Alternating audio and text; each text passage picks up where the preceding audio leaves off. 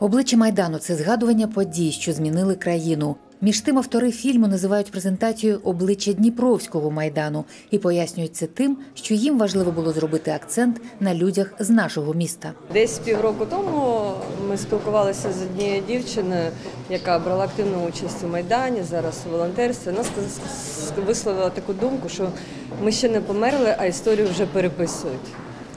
І от народилась така ідея, щоб зробити інтерв'ю. Наталя Хазан та Ольга Владимирова кажуть, що людей для інтерв'ю вони не обирали спеціально, і в фільмі представлені дуже різні відповіді на одні й ті ж питання. У висновку глядач повинен вкотре зрозуміти, що спонукало людей виходити на майдан. Що ми хотіли? Ми хотіли дізнатися, чи важливо нам чути одне одного, чи важливо нам згадувати, чи важливо нам аналізувати. Тільки це. Це не кіно, на мене, як на мене. Це просто добірка е, спогадів та спроба аналізу. Це не художнє кіно, але з амбіціями журналістського твору. Інакше не можна було б загострити проблему відвертості відповідей.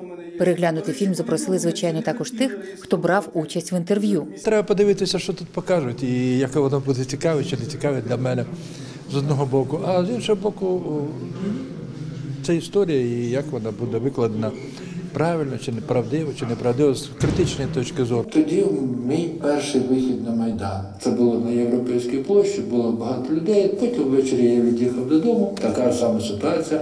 І у нас в Дніпрі на Європейському майдані теж люди організували це дійство, цей майдан. Саме Дніпровський відгук на події 13-14 років найважливіший для тих, хто прийшов на перегляд, бо починати згадувати і аналізувати завжди треба із себе. Я не думав, що буде зніматися фільм, бо ми ж це робили не для якихось там історичних записів, а просто за покликом душі.